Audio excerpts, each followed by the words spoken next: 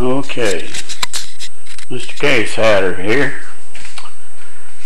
We're working on the 60 inch glider I'm going to use for uh, FPV. As you can see we got a Armin wing. I'm using 11 inch. I want a lot of lift. The uh, ailerons here on each end fairly big but I'm going to use uh, very little input. You notice I got a pod mounted in the middle of the wing. It's almost at the CG point, just a little bit forward. Uh, it's going to be a pusher. And also I've installed in my servo leads, I've installed some big landing gear because I fly in some grassy places sometimes. I live in the foothills, so I got a lot of trees and mountains and pastures and whatnot. If you'll notice, I've got some suspension built into my landing gear. I put a pretty stout mounting surface here and uh, it's epoxy to a main spar that runs through the wing full spar. It's a half inch poplar spar half inch by half inch. And I used the 30 inch section of Dollar Tree foam and uh, then two uh, 15 inch sections one on each end overlapping spar and it's bolted together using a blind nut screw that where it overlaps it the bolt goes through and holds it nice and firm. Then I got a small dowel rod in the in this area here. It runs from here to here. Basically it's 48 inches. It's just divided.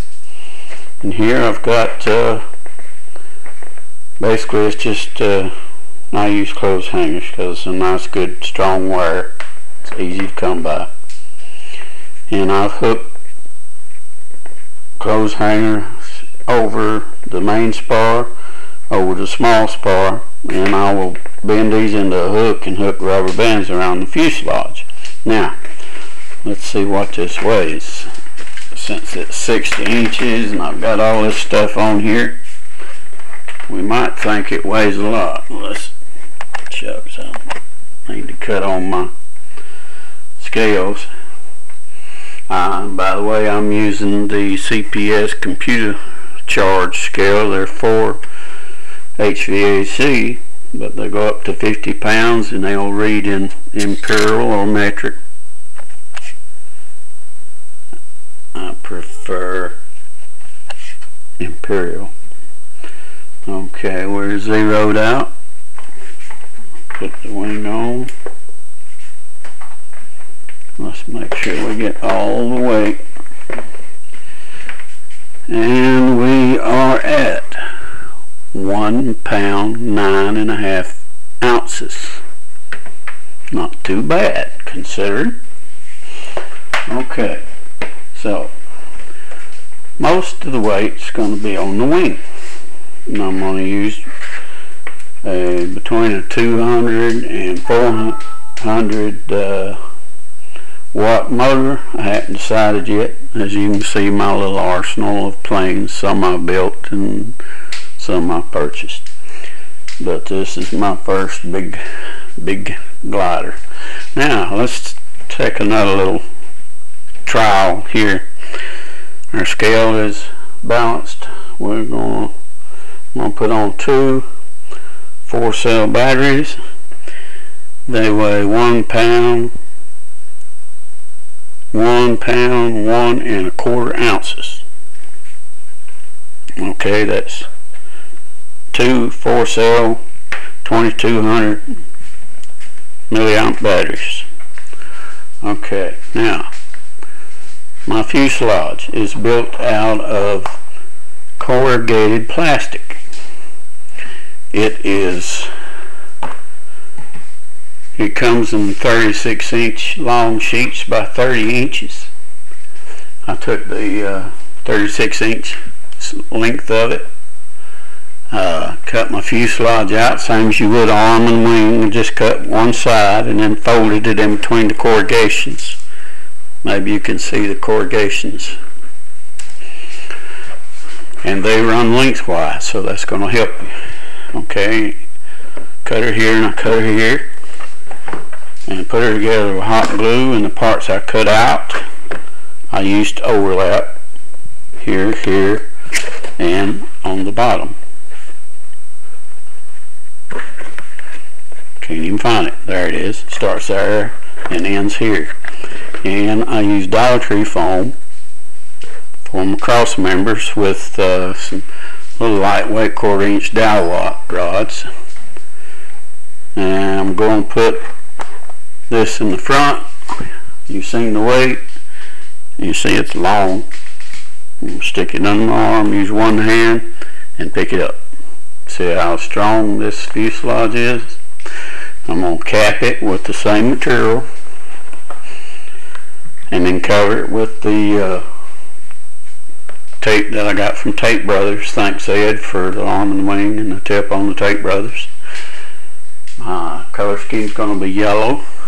So we've used two types of board. We've got the Dollar Tree foam and we've got this board that you can get at your building supply and it's around seven dollars a sheet 30 by 36 it's used for signs see it's corrugated plastic I also use another type of board and you can find this at Walgreens uh, Rite Aid uh, Walmart and it's Elmer's board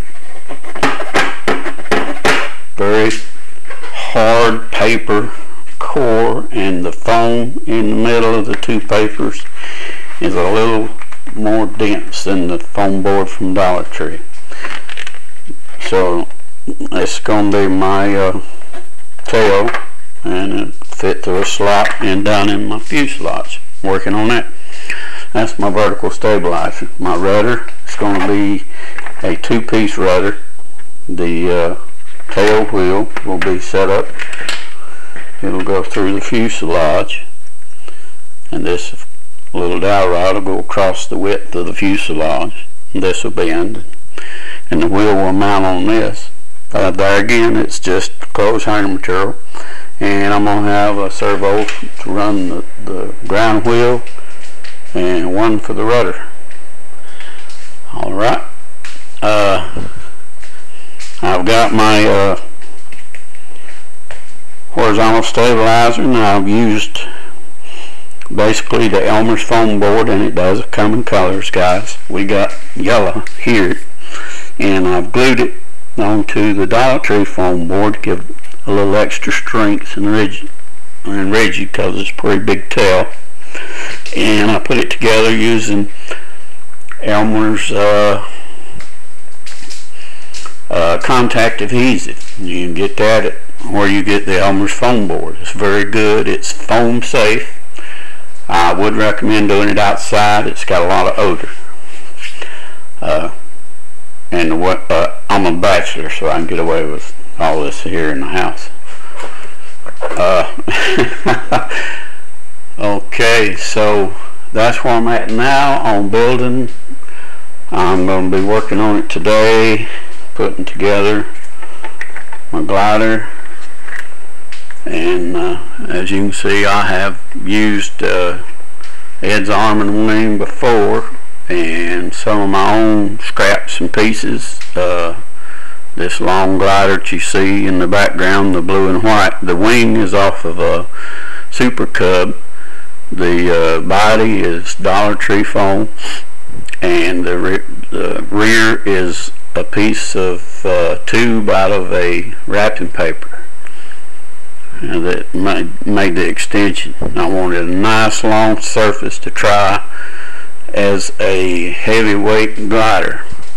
And that particular airplane flies great. I put two uh, 11.1 2200 milliamp batteries right beside the top as you can see my straps up there so I'm using uh, and I'm using them in parallel so it's giving me 4400 milliamps and that gives me about 15 minutes of flight time flies beautiful. The guys at the field were amazed how good that little thing flew. And that's just threw together in a weekend. Uh, over here's my other little planes. We won't get into that but that's it with this build. I'll have a, another part later as I finish it up.